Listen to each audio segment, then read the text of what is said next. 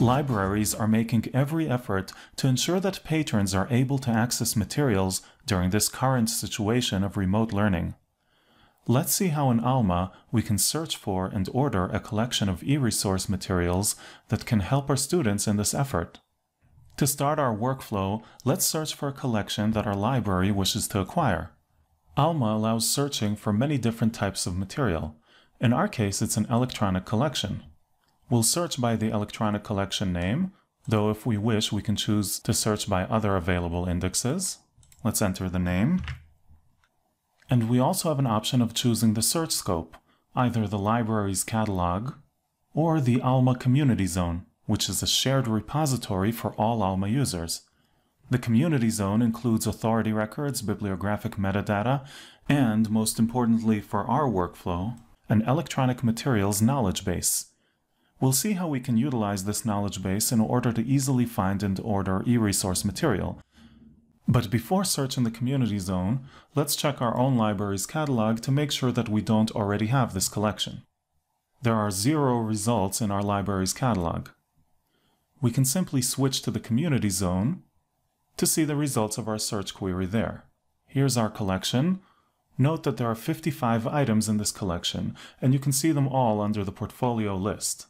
To order the collection, simply click Actions, Order. Alma will now start an order workflow for you in your library. For the order type, we have the recommended option of electronic collection subscription.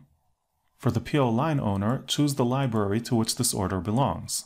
A great time-saving option in Alma allows using an order template which will pre-populate many of the fields in our order. In this example, we'll choose the template National Booksellers Electronic your library will configure its own templates. To continue, click Create PO Line.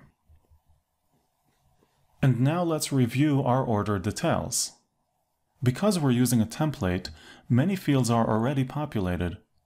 For example, a link to the vendor's license, the vendor information, and even the fund that will pay for this order.